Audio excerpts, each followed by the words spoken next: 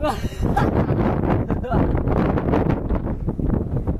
oh, hindi naman nagdadalang tao yan eh. Abuntis yung pako.